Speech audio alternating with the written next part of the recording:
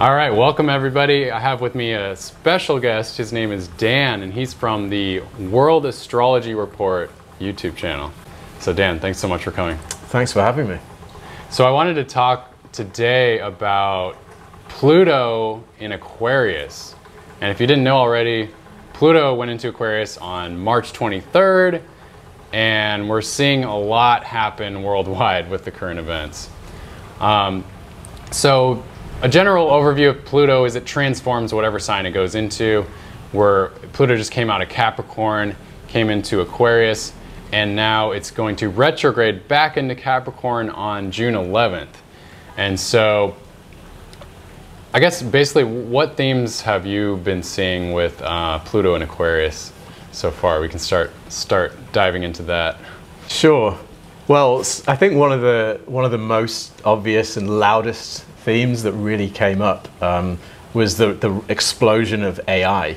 Yeah. You know, I mean, Aquarius is a sign that's associated with technology, and um, a lot of astrologers have been associating Pluto in Aquarius with with the rise of AI for a long time before it actually happened.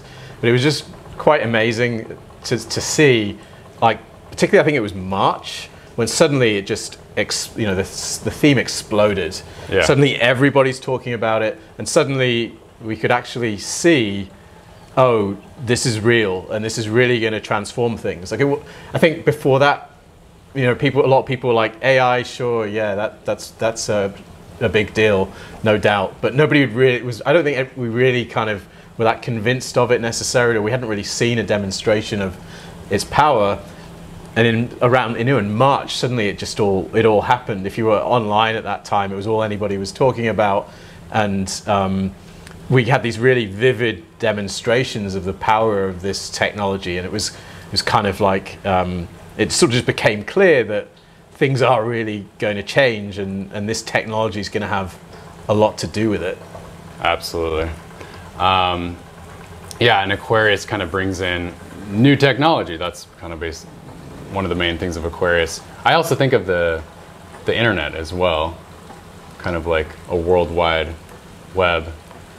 Absolutely. I mean, yeah, the the, the web is extremely Aquarian. Yeah. Um, you know, Aquarius uh, is a sign that um, it's ruled by the planet Saturn. Um, Mercury is, is rather strong with Aquarius. It has triplicity rulership of Aquarius, and Mercury is the planet of uh, of the of the mind, of intelligence.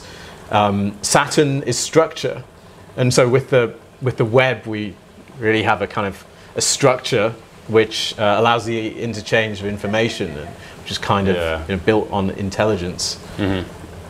So we have Pluto going into Aquarius. We've we've seen other other very interesting themes like uh, more bank collapses, very similar to what we saw when Pluto ingressed into Capricorn back in, I guess it was 2007.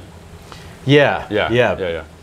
Right when we saw the, uh, as you all know, the economic collapse, great financial collapse, um, and so, you know, we, we saw Lehman, Bro- Lehman Brothers collapse back then, and so I find it very interesting. We're seeing very similar themes, and now Pluto is going to retrograde back into Capricorn. Capricorn represents, you know, top-down structures, governments, uh, you know, big big corporations, things like that, uh, banks. right. So, what could we see more of with uh, Pluto retrograding back into Capricorn? Yeah, it's a, it's a, it's an interesting question. Um, what's, uh, you know, Pluto's gonna gonna, gonna take uh, another eighteen months or so to to really move into Aquarius. So it, Yeah. it is, as you say, it's moving back into Capricorn. It's going to move back into Aquarius and then back into Capricorn again, and then finally back into Aquarius in November 2024. So there's this sort of transitional phase. So Pluto's business in Capricorn, in that sign, are associated with these institutions that you mentioned, with the establishment, with banking, and so on. Pluto hasn't finished its business there. Yeah. Um, and as you say, we're certainly seeing the signs of another big crisis brewing at the moment. Um, Yeah. They've almost been able to paper over, paper over the holes so far. but you know, there's lots of, I mean, there's, there are lots of people saying that there are a lot of, of financial institutions that aren't um, on, on firm ground now. And we've only Yeah. really seen the, the tip of the iceberg so far uh, in terms of, terms of the institutions that, that have, have collapsed. We, I would not be at all surprised to see um, a wider crisis breaking out while, you know, in this, this period with Pluto moving back into Capricorn and kind of finishing its business there, which, as you say, began with the, the big crisis of 2008, Yeah. uh, the banking crisis. Um, the other interesting thing is, is, is that uh, we saw, as you say, we saw with Pluto in Aquarius, we saw this fresh crisis, um, but it concerned, uh, it was centered around um, Silicon Valley Bank, Yeah. what we saw before, which is, you know, we can see the Aquarian theme there, right? This is uh, this is a bank that served the tech industry. So even though it was, it's kind of we're still in the territory of kind of what looking at a crisis with the banking system. There was a much more like Aquarian kind of shade to it this time around. Absolutely, absolutely. Um, and it was also crypto related, I believe, because you know, which, which is technology, Aquarius, um, because the the reserves from the the Circle uh, corporation that owns uh, USD coin, uh, a lot of their reserves, I believe, 10% or maybe yeah, around 10% were in Silicon Valley Bank. Um, and actually, when we saw that bank start to collapse, uh, the the USD coin depegged down to I think about 80, 86 cents. So it might have been it might have been actually 14% of the reserve, something like that. Um, and there are you know, so there could be a reason why it was bailed out. Maybe to maybe to save USD coin. Like there's there's some. Uh, Conspiracy theories around that of uh, you know if USD coin is is going to be a big player for the long run, um, you know, but then it also bailed out all of the tech companies as well. um, so, like you said, we're going to see a lot more themes of that. We're just getting, we're just seeing the tip of the iceberg. So uh, I'm definitely on the uh, edge of my chair, at the edge of my seat. Um, so yeah, and then also you, you mentioned intensity. So Pluto is squaring the nodes, right? And is going to continue for a while. And then we just saw the the T square with Jupiter squaring Pluto and Mars. Right. What do you think about that? right. Well, yeah. Um, so uh, the the two points that are square to the lunar nodes are critical points, really. Um, you know, the, the two lunar nodes. These are the eclipsing points. These have a lot to do with you know where where change is really taking place.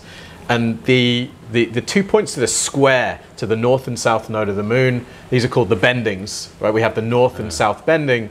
Um, these are also very potent, uh, potent points. We can think of the nodes as the head and tail of the dragon. Yeah. Um, we, the, the points that are square to those nodes are kind of points of where, where the sort of direction and polarity changes almost. Um, that's where we find Pluto right now. It's at the south bending. Um, I've done a fair bit of research on what's happened when Pluto has been at the bendings, at the north and south bendings. And um, I definitely saw that there was a lot of volatility, particularly in terms of power structures when Pluto's at these points, because Pluto, as you said, it has to do with intensity, it has to do with power. Pluto is the lord of the underworld. It has to do with, um, with kind of titanic forces that, that come from beneath the earth or from beneath the visible sphere. Um, and we really see with Pluto at the bendings, there are a lot of changes in power structures. There are lots of uh, power grabs. I saw coups happening over and over again. A lot of military coups in various countries all around the world. Uh, too many to be kind of just a simple kind of coincidence. It was just very striking when I look back at history, looked at what happened at the times when Pluto's like very close to the nodes, like it is now. A lot of power grabs and, and changes in direction. Um, and you know, we right now, as you say, we have this this uh, this configuration with Pluto opposing Mars, squared by Jupiter, and, and this, this configuration is also aligned with the node um, with the with the bendings and the Mm. nodal axis. Um, and it's interesting, you know, even in the last uh, couple of days, uh, we seemingly had some kind of important development in the Ukraine conflict where the Russians were saying that they'd taken Bakhmut, this, this you know, town that the, the Russians and Ukrainians have been fighting over for months and months. You know, it's been probably the most intense and longest running battle of the whole conflict. There's been a kind of sort of development, a change in direction maybe there. At the same time, though, um, Ukraine is now going to be getting F- F-16s, and Ukrainian pilots are going to be trained in F-16s by the US and its allies. So there's kind of you can kind of see that there's some really important developments happening, um, and Pluto is going to be at this point at the South Bending for quite a while longer this year, actually until within three degrees of the South Bending until the middle of October. Um, so that's quite a long time, and um, I'm expecting that we'll see more um, power grabs. Um, I also see, have seen a lot of like long, ru- long-running leaders. Uh, their rule often ends uh, with Pluto at this point, or at the nodes themselves. Um, there's an interesting, seeming something interesting going on in Thailand right now, Oh, yeah. um, where where uh, the the uh, Move Forward Party has just won the election. Um, the the current Prime Minister Prayut Chan-o-cha took power about nine years ago. Um, one half of the nodal cycle as well, um, and he took power in a coup. And now, seemingly, he may well be out of out of power, and um, a new sort of younger generation are going to take over. It's not for certain. We don't know exactly what's going to happen. That's somewhere that I'm watching quite closely. But I think it- we'll see that in other places as well. Probably changing changes in, in leadership and switches. Yeah, I wouldn't be surprised. Okay, I also want to talk with you about the what this video is about. The title is uh, the, the phase is phase one of Pluto going into Aquarius, and this is based on the bounds, which which I'm learning from you. The what is it? The five bounds Right. of the uh, each sign. yeah the Egyptian Egyptian bounds, or they also are also called the Egyptian terms. Okay. um, terms or bounds. Um, each of the uh, signs in traditional astrology was divided into these five sections called bounds or terms. And the five sections uh, were different lengths.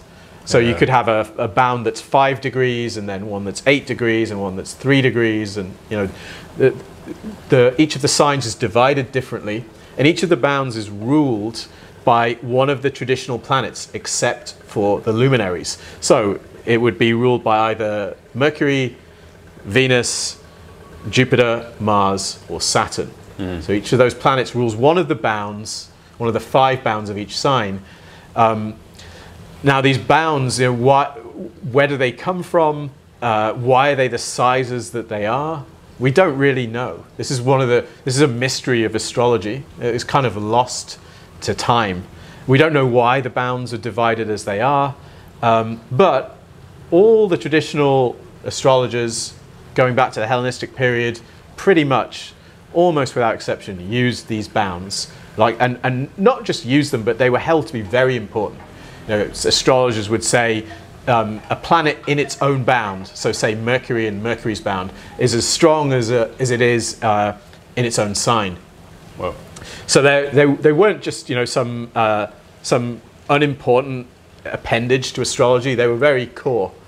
And I, I did some research into uh, Pluto moving through these bounds. You know, Pluto moves very slowly.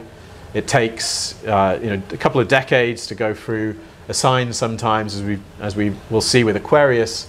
Um, but it also moves through these bounds. And something that I saw uh, when researching Pluto's progress through the bounds of Capricorn and Aquarius is that Pluto, or what Pluto seems to signify, uh, seems to change depending on the bound that it's in. The character of the Plutonian events of transformation changes depending on, on which bound Pluto's in. Now, the first bound of both Capricorn and Aquarius is ruled by Mercury. Yeah. You know, Mercury is a planet associated with trade and negotiation and communication, business and interpretation. These kind of these are sort of mercurial themes.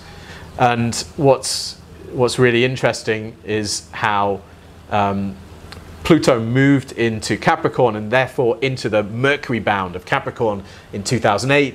And then we had that financial crisis. And of course, Mercury is the planet of markets, of trade, of business. Um, and then once again, we've seen this year when Pluto moved into the Mercury bound of Aquarius, we again saw like, problems with the markets, another financial crisis, but this one with, as we said earlier, with more of an Aquarian flavor. Mm. It was, you know, the theme of like Silicon Valley was brought in, and cryptocurrency was kind of was very relevant to what was happening. But Pluto's in this Mercury bound, so the transformative stuff that we're likely to see is going to uh, be very like colored by mercurial themes. Yeah, absolutely. So a lot with, with, with trade and also, you know, I think of social media, like communications. Um, AI, you know, it's the way I've been using AI is, is communicating with it, you know, sending a prompt and then having AI spit, you know, whatever, copy back to me or a question or an answer to the question I'm asking. Um, you know, definitely markets. Um, so there's many themes. And also ideas, like ideas about, you could say humanity Aquarius, I, I think there's going to be a lot to dis- be discovered about um, new ideas about humanity. Like, I don't know, maybe where we came from and, and who, who, who actually are we. there, there might be new discoveries uh, about humanity. Um, but definitely new ideas uh, socially. You know, we're seeing a lot of, of that come out of uh, social issues, right? You know, globally. Um, right. There's there's a there's a sort of uh, revelatory um, aspect mm. to Pluto. You know, Pluto is the underworld, and it, it often seems to have uh, to do with like the invisible suddenly becoming visible. You know, like a volcanic eruption. There's, there was mm. great power under the surface. Wow. We couldn't see it, and then suddenly it's there, and it's completely transforming things. Wow. And that's that's a theme that we see over and over again with Pluto, and now Pluto's in Aquarius, as you say, you know, it's a sign kind of associated with uh, huma humanity or humanitarianism, um, with systems, with how the world is structured. And so we can expect to see revelations um, in those areas. You know, Aquarius is a sign that has to do with, or is often associated with, um, with radical or new ideas. Yeah. Um, and so I think, as you say, we, we can probably expect that our, um, our vision of you know, who we are mm. um, is going to be shifted because things are going to come to the surface that were always there, yeah. but were maybe hidden or ignored before. That would be very Pluto in Aquarius. Yeah, absolutely. Um, other things are like um, I would say social media, like censorship on social media, uh, that could be very like Mercury, um, maybe Pluto uh, trying to control the narrative like that, and, and the narratives in in uh, mainstream media potentially being controlled, things like that. Yeah, Pluto kind of also represents like cent- uh, like a centralization of. It certainly represents yeah power structures. Yeah. Right. Right. Yeah. yeah. Power. Yeah, absolutely. Mm-hmm. And elites. Right. So. Um, yeah, I mean, it's interesting. Um, Aquarius is a sign that's uh, it's ruled by Saturn, and it's you know it's the opposite sign to, to Leo, the yeah. sun sign. So if if Leo is about the center, um, Aquarius is more about the the margins, mm. um, and uh, Pluto will often signify kind of empowerment and shifts in power structures when it's in Aquarius. Um, what, what, we often see with Pluto in Aquarius is, is new centers being established. If Leo is the center, Pluto moves into Aquarius and a new center is established on the margins. You know, Yeah. Aquarius has to do with the, the, the sort of marginal places. You know, Saturn is at the edge of the solar system. It was the, the last planet before, you know, in traditional astrology, but obviously they weren't aware of the, you know, the, the so-called modern planets, Uranus onwards. So, you know, Saturn patrolled the, the, the edges of, of society and the edge of the cosmos. That was kind of how it was seen. So when Pluto goes into Aquarius, we often see um, new centers being established and new sort of power centers in particular. That's something that um, you know, history shows us very clearly that happens over and over again. Like the last time Pluto was in Aquarius, we had the founding of the United States. Essentially, the United States' institutions were founded, um, and the United States was a new power center. You know, kind of this broke away from the British Empire. And so when, you know, where London might have been a centre, suddenly there's this new centre established across the ocean. Um, you go back further than that, we have the Reformation, the Protestant Reformation.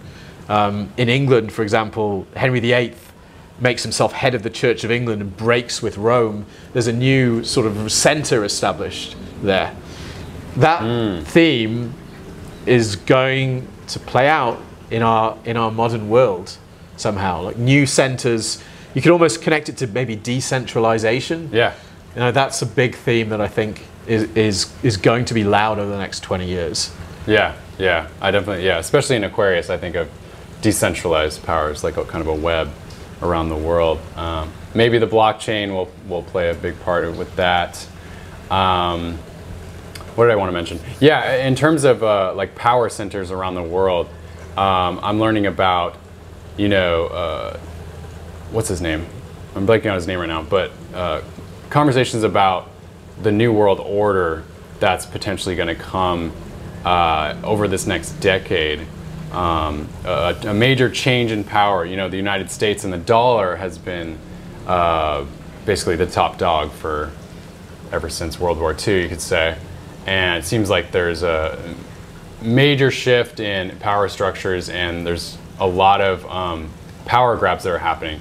There's uh, you know, NGOs are coming into power, like the World Economic Forum, the WHO, uh, the WEF, uh, and uh, those are also potentially um, at least attempting to create um, new financial systems. The, the World Economic Forum came out with a new cryptocurrency. Uh, I think it's called the Unicoin or something like that. Um, so I think there's going to be a lot of interesting shifts in particularly the financial markets and uh, the reserve currency of the world. And I think it's going to be a lot more decentralized in a way. And cryptocurrencies such as, dare I say this, uh, such as XRP could could be bridge currencies that would allow um, different governments, different countries to trade uh, their uh, centralized digital currencies uh, through that bridge currency. Um, that's just one example. Um, so I think that that has a lot of Aquarian type energy. You know, with all these digital currencies coming out and digital financial markets and Absolutely, absolutely. Um, I think cryptocurrency is highly Aquarian. yeah, the, the, uh, the cryptocurrencies also seemingly really tied into Pluto's movements over the last few decades. Um, you Yeah, can also, yeah. you know, it was. I don't think it was a coincidence that um, Bitcoin was born when Pluto moved into Capricorn or around uh, around that uh, Yeah. around that time back in 2008. Um, yeah, so we have we have uh, the, the major cryptocurrency kind of coming into existence when Pluto moved into that sign, um, and now Pluto's in Aquarius. I think the theme of cryptocurrencies and, and central bank digital currencies is is going to be one of the main things we're talking about over the next 20 years. Yeah, and it's an interesting um, battle probably that we're going to see um, between centralized currencies, currencies that, you know, central bank digital currencies that are um, issued by central banks and controlled by central banks versus decentralized currencies like like Bitcoin. Um, and we may well see a world where both of those things are, you know, able to find their niches and thrive, or we may see more likely attempts to, to uh, I would say, by states to kind of push out rivals to set their centralized currencies. Yeah. Um, and I think that that that whole uh, theme of this of centralization and decentralization is going to play out in lots of ways. Um, but one of them is definitely in the, the realm of currencies. Yeah, yeah, because uh, that's that's how the world works, right? Is you know, is is money, and that's kind of I think of money as like the root chakra of how things work. So it's kind of like the foundation. So um, that's one of the reasons I'm really diving deep into the financial markets and and using astrology to, to guide that as well and, and find patterns and themes, which I'm finding very interesting. Right. Well, It's also interesting just to just that you know we talked about how the first um, the first bound of uh, both Capricorn and Aquarius is Mercury's bound, and how we saw a financial crisis uh, beginning in 2008 when uh, Pluto enters that bound, um, and you know that's been so uh, like formative for history over the past couple of decades. But it's it's it's interesting how often you know money does or finance economics it does drive other developments. It does drive politics Yeah. to an extent. Like as you say, it's like the root of things. Um, when people have serious financial problems, that's usually what what really pushes them to, to try and change change the world or change the, the system, so to speak. Yeah, Um, yeah. Because people aren't that motivated to, to make big changes, to risk their lives, for example, to, to, to put things on the table Yeah. um, unless they're really kind of challenged financially. If you can't afford to eat, um, if you Hmm. can't, you know, educate your children or whatever it is, you know, um, that's going to push you to take risks and to push for for change. So Yeah. the start of the process of you know of, of change is often financial first. yeah. Um, we saw that with Pluto in Capricorn, and I suspect we're going to see it again uh, with Pluto in Aquarius. You can also see that, as you say, like um, that the, the, the, the status of the dollar is being questioned. yeah. Um, it's still the global reserve currency, vice, and it's still the most popular reserve currency and, and currency of settlement by a long way. It's not something that can be changed overnight or w- that will be changed overnight, I don't think. But there is a, you can see that um, some of the United States' rivals are they're pushing uh, to to try and end the dollar's dominance, particularly the BRICS countries. Yeah. You can see um, China's pushing its own currency, you know, the renminbi or the yuan, um, as, as an alternative. And then the BRICS countries have started to increasingly trade amongst themselves in current currencies that aren't the US dollar, which is, which is uh, obviously suggests that they're, they, they're trying to shift things away from a, sort of a dollar dominated system. You know, that now Yep. it, it, there, there are there are advantages and disadvantages to having the, the, the global reserve currency. It's not all um, advantage, and um, there are there are burdens that have to be carried. You know, the dollar um, perhaps is higher than it would be if it wasn't a reserve currency, and that, that hurts, for example, American uh, exports and so on. So there are like there are penalties and stuff, and I think that the China, for example, is aware of that. But at the same time, you can clearly see that there, there is some push to reducing dollar dominance. And I think Yeah. It maybe ties into the, the Saturn return, sorry, the, not the Saturn return, Pluto. the, the Pluto return of the United States, Yeah. because Pluto in the United States Sibley chart, which is the chart that probably most astrologers use um, for the Declaration of Independence, uh, Pluto's in the second house. In that Yeah, well, that makes me think about the US dollar being the dominant power for so long. That makes me think of Capricorn, like top down power structure.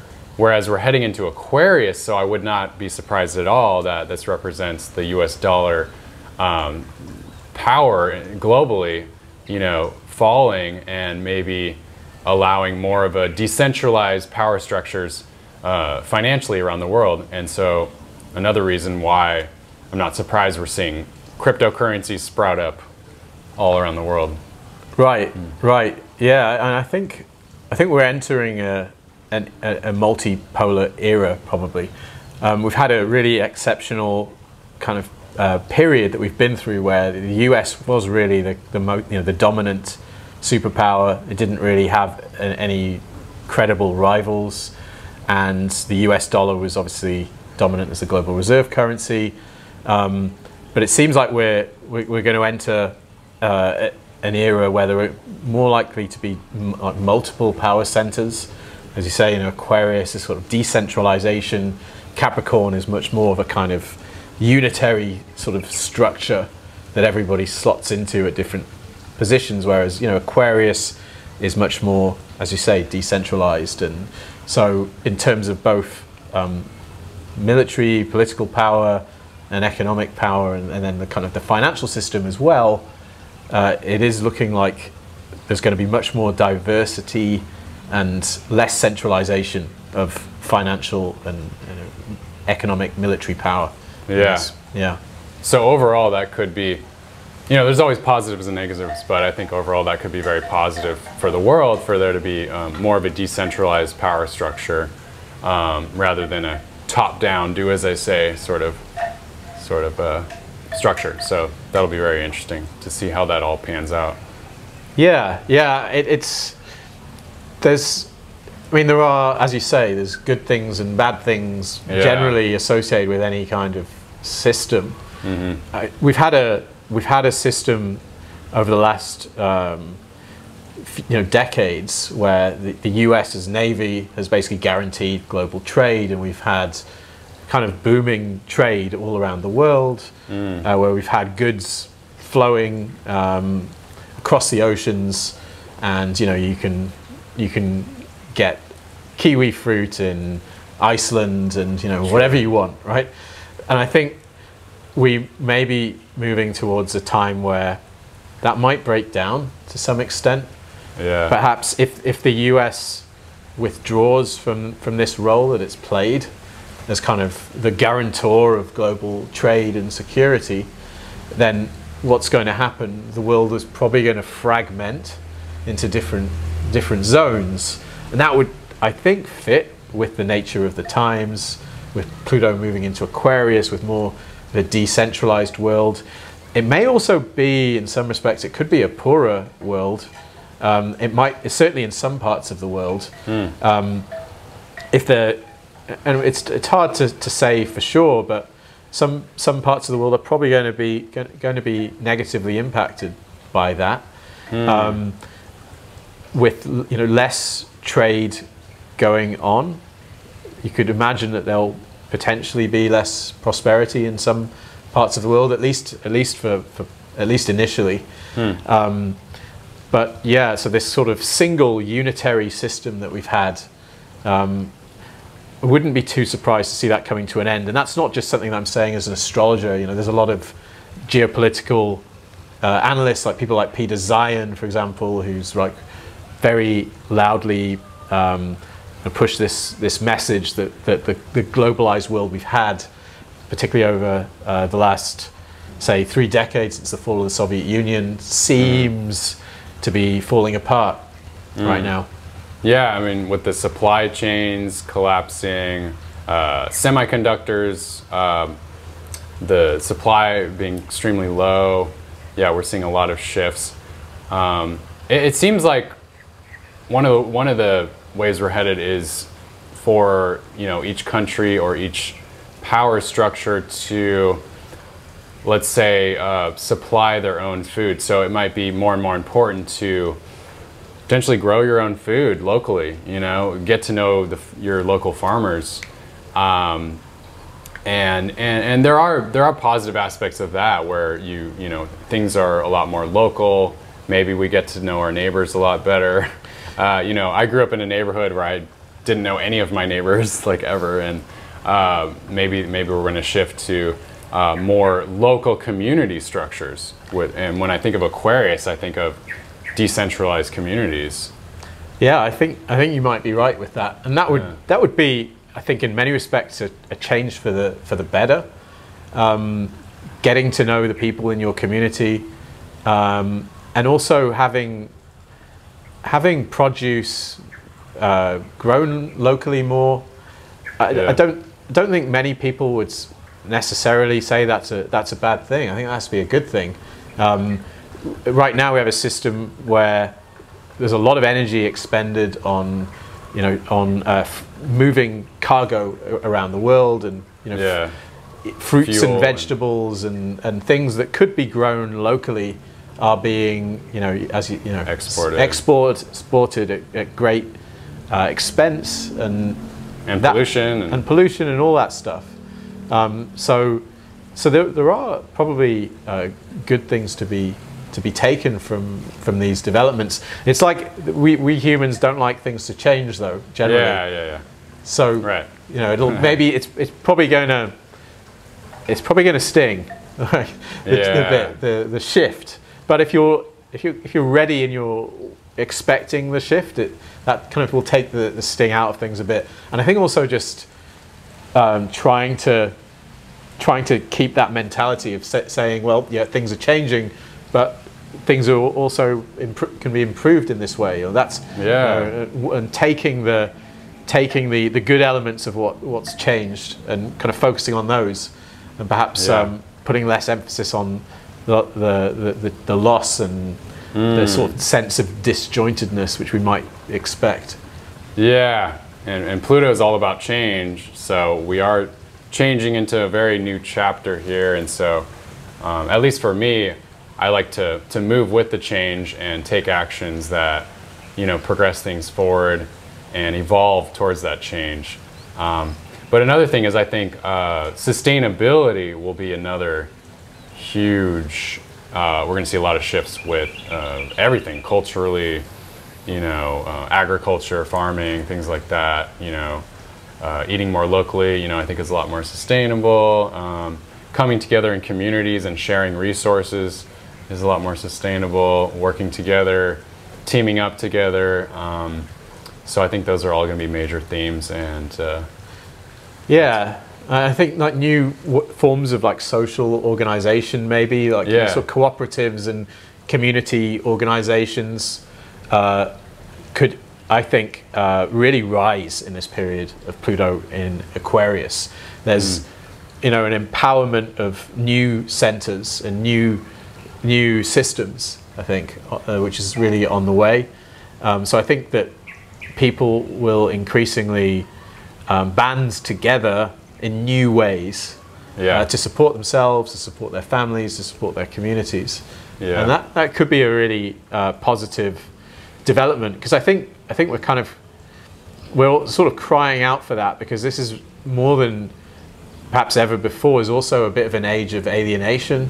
yeah, Um, yeah, You know, with the, the rise of uh, social media, smartphones, and uh, the internet, of course, they've brought some benefits, but at the same time, um, a lot of people are feeling, growing up, feeling alienated from, Yeah. from their fellows, and um, Yeah. and I think uh, perhaps a, a movement to counteract that uh, is also kind of timely. You know, every action has a you know, equal and opposite reaction, as they say, and so I think um, that people may uh, try to push back against the kind of the alienation that that does seem to accompany some of this networked technology um, with new, as I say, forms of social organization. Yeah, yeah.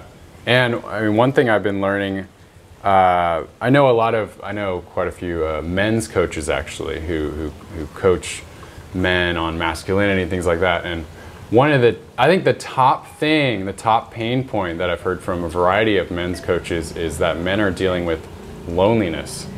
So, like you're saying, alienation, um, I think is one of the biggest pain points in, um, yeah, in humanity or, or worldwide. Uh, so that is a major positive aspect is coming together more in communities, um, working together, things like that. Um, another thing that we want to talk about is uh, um, China and, and how the Pluto is going to affect China potentially. Right, right.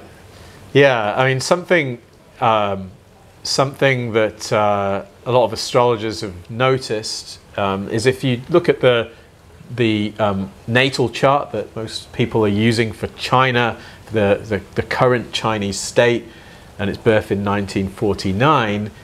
In that chart, um, Aquarius is the is the rising sign, and the moon in that chart, which generally will represent the people in a in a in a country chart, is at three degrees of Aquarius.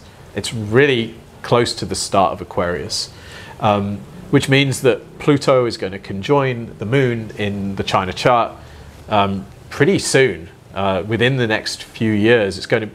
There are quite a few countries that have moons in Aquarius, but um, the Chinese chart, I think, has the earliest Aquarius moon. Now, what's that going to mean uh, for China?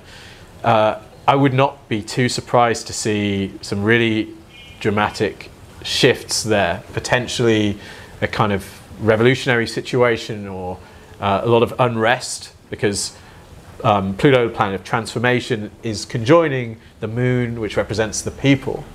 Wow. So, you know, what could hap- Where could that come from? Um, the Chinese Communist Party, a lot of people talk about how it, its um, its legitimacy to rule is kind of based on all the prosperity that it's delivered China, which it undoubtedly has done over the last, especially since 1980. Um, but if we, you know, the economic situation changes dramatically, and there are a lot of signs that it, it probably will, what's that going to mean for China, and what's it going to mean for the legitimacy of the, the Communist Party of China if it's no longer delivering um, wealth and economic benefits to, to people in that country? So that's definitely uh, something to watch and something to be a bit, you know, concerned about um, for you know what's going to going to happen there. Yeah, absolutely. Very interesting. So yeah, we got the U.S. Pluto return. We got the Pluto's going to hit China in the next, probably in 2025, I believe, around there. And uh, we also have Pluto going over the the Bitcoin Jupiter um, the second time on July 3rd, and I think it's going to hit it a few more times over the next year and a half. So we're going to see a potential transformation with Bitcoin as well. Um, could we see some more dumping or and then pumping, or it'll be very interesting. So um, I think that's about it. Is there anything else you'd like to share? Well, there's you know there is a lot of pretty uh, intense astrology coming you know, this Yeah. this decade. yeah. Um, right. We're going to see a lot of a lot of change, I think, um, Yeah. in, in the next in the next few years between now th- this decade really is going to be going to Yeah. be huge, and I, I think the world's going to look very different by the ends of it, and, and in, in lots of different countries as well. You know, Russia, for example, is another place that's um, likely to change. There's a Saturn Neptune conjunction happening in Right. 2026. Um, every time these uh, these conjunctions happen, there are big transformative events in Russia. You, you go back to 1917, you have the Russian Revolution. You go to 1953, you have the death of Stalin. 1989, you have the, the fall of the Berlin Wall and then the collapse of the Soviet Union. Every time these conjunctions happen, there are big changes in Russia. Um, it's a really clear pattern. And you can even go back further than the 20th century. Um, in 2026, there's going to be another one of these conjunctions. Um, and I really am expecting that there are probably going to be big changes there as well. Oh yeah. yeah. But yeah, there's a lot, there's a lot going on. It's going to be a pretty wild ride, I think. Absolutely. Yeah, thanks for mentioning that. Um, yeah, because so ar- around 2026, we're going to see um, Saturn and Neptune, or is it, yeah, I think 2026, head into uh, Aries. And Yeah. then uh, I think, of, and then around 2027, we're going to see um, most of the planets in air signs and fire signs Right. which uh, is going to be a major transformation, and things are going to speed up. Everything's going to speed up. Right, right. yeah, I mean, I think uh, 2025 it is. Uranus moves into Gemini, Oh yeah, right, right, right. That's going to kick it off. Yeah. Um, That I think that will really supercharge things. We have Pluto in Aquarius, air sign, Uranus, you know, planet of of the new and you know revolution, Yeah. and, uh, changing things up is, is is in Gemini, another air sign. Um, and as you say, yeah, things are, are going to start moving very quickly, and probably particularly in the technological Yeah. sort of realm. I mean, it already feels like it's moving uh, pretty fast. So Mm-hmm. uh, that time is going to be wild. Absolutely. So it's a good idea to prepare now. Prepare, get your ducks in order, prepare financially for the new financial changes because things are really going to speed up in uh, 2020 or potentially starts really speeding up in 2025. So we want to make sure we're, we're in alignment in our lives. We're, we're living where we want to live. We're, you know, financially we're, we're in a good place and and also we have good communities set up for ourselves. I think it's really important. Right, right. All right. Well, thanks so much for coming on the show. And uh, everybody, learn more about Dan. Um, where can they learn more about you? Uh, you can find me at World Astrology Report on YouTube and Substack. Uh, I have a channel where I cover world astrology um, and a lot of the things I've been talking about today. I've got videos on, so check it out. Absolutely.